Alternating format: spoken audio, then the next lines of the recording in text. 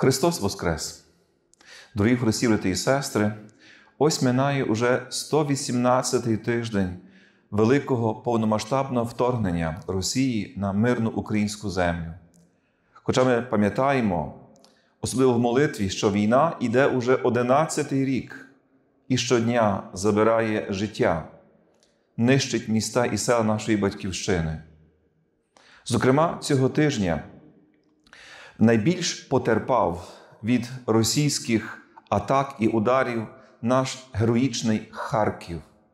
Харківщина стала мішенью нового удару росіян з північного кордону е, України.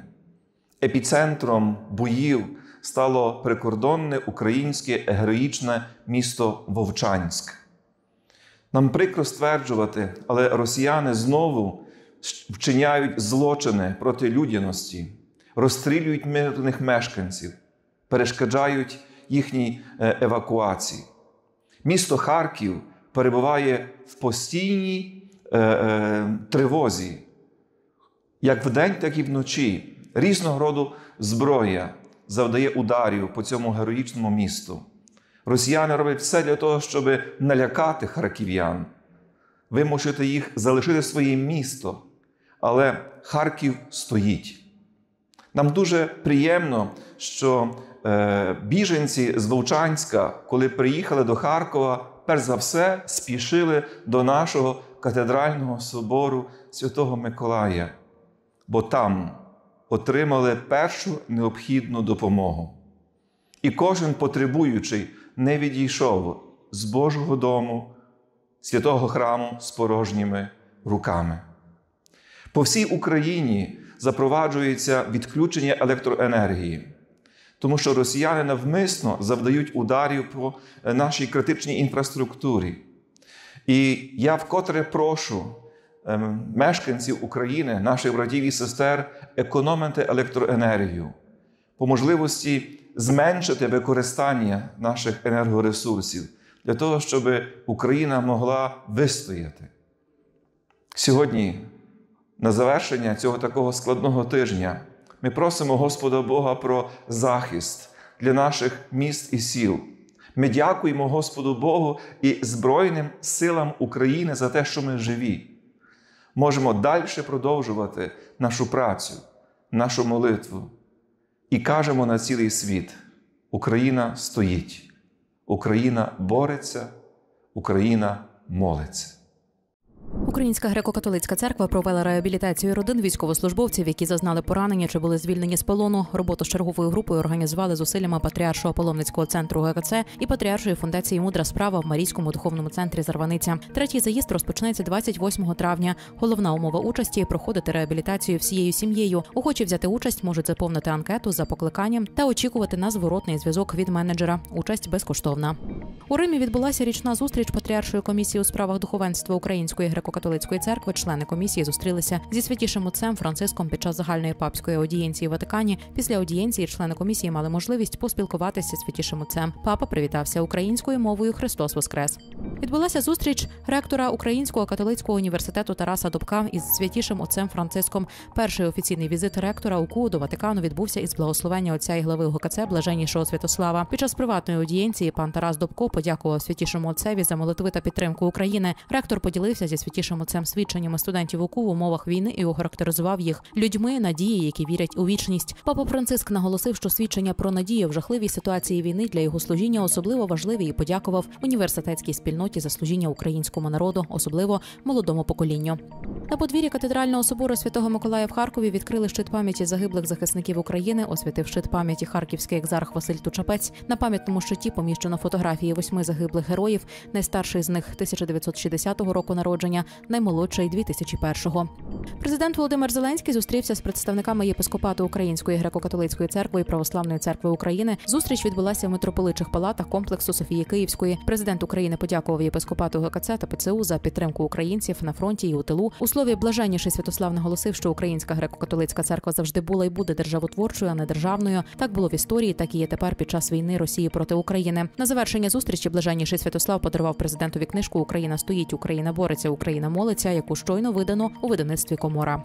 Напередодні дня матері в Зарваниці відбулася проща матерів загиблих героїв. У малій базиліці Зарваницької матері Божої відбулася архієрейська божественна літургія, яку очолив єпископ-помічник Тернопільсько-Зборівський Володимир Фірман. Матерів героїв привітав також архієпископ і митрополит Тернопільсько-Зборівський Василь Семенюк. До слова, владиці Володимиру вручили президентську нагороду Золоте серце за вагомий особистий внесок у наданні волонтерської допомоги та розвиток волонтерського руху. Росіяни атакують Харківщину. Українські підрозділи тримають удар та не дають росіянам просунутися у північній частині Вовчанська, де йдуть активні бойові дії. Російські військові беруть цивільних мешканців у полон. Зараз російські військові, які намагаються закріпитись у місті, не дозволяють місцевим евакуюватися. Людей почали викрадати та заганяти до підвалів. Також відомо про перші розстріли цивільних росіянами. Зокрема, окупанти вбили одного з жителів Вовчанська, який намагався втекти пішки та відмовився виконувати російські накази. Цього тижня е, в нашому національному духовному центрі Зарваниця у стіп чудотворної ікони Зарваницької Богородиці відбулася чергова сесія архірейського синоду наших владик України.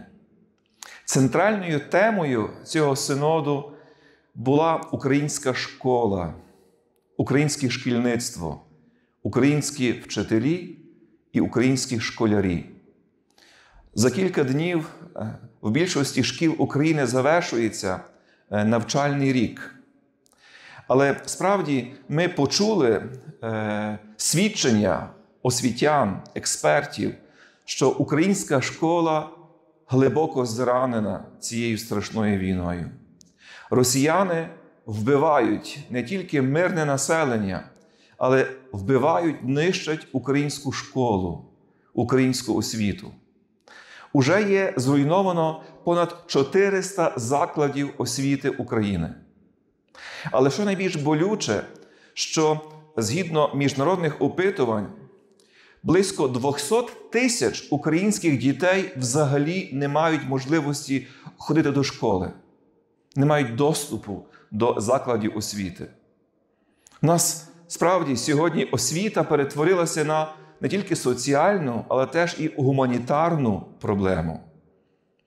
Багато дітей справді не знають, не вміють навчатися, не вміють бути разом із своїми однолітками, із учителем. Їм важко мислити, важко читати, важко висловлювати свої думки. Близько 75% українських школярів є в стані постійного стресу. Багато з них є позначені посттравматичним стресовим розладом. Ми приготували від нашого синоду окреме послання, слово до освітян, в якому ми хочемо найперше подякувати нашим учителям за те, що кожен з них став своєрідним пунктом незламності, де наші діти можуть отримати не тільки знання, але підтримку духовну, психологічну, людську. Ми сьогодні хочемо подякувати освітянам за їхню невтомну героїчну працю, тому що майже 54% з них є в стані професійного вигорання. Але абсолютна більшість з них лишилася із своїми учнями, не покинула Україну. І сьогодні наша церква хоче освітян підтримати, хоче скерувати е, академічних капеланів у наші школи, хоче огорнути пастирською увагою тих, хто сьогодні є героїчними свідками християнської освіти в українській школі. Дитина є особливо зранена цією війною.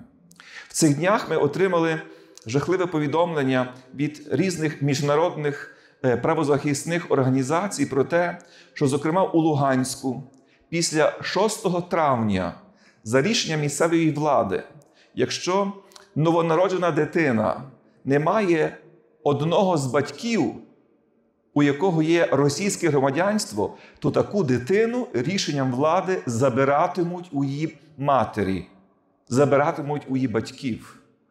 Ми відчуваємо, що це щось дуже подібне на жорстокість єгипетського фараона за часів Мойсея. Але і тоді той фараон був милосердніший, бо хоча б дівчаток залишав їхнім батькам. Діти, старці, цивільне населення, як нещасні жертви цієї війни. Ми хочемо, щоб світ про це знав. А ми, християни України, хочемо служити життю. Бо, як говорили е, відомі люди у Європі, остаточно війну перемагають священники і вчителі. І до цієї перемоги ми разом готуємося, за неї боремося і молимося щодня. Боже, благослови Україну. Боже, благослови український народ, благослови українських учителів, учнів, українських дітей, благослови українське військо. Дай, щоб наші дівчата і хлопці на фронті справді перетворилися на воїнів світла, які захищають мир.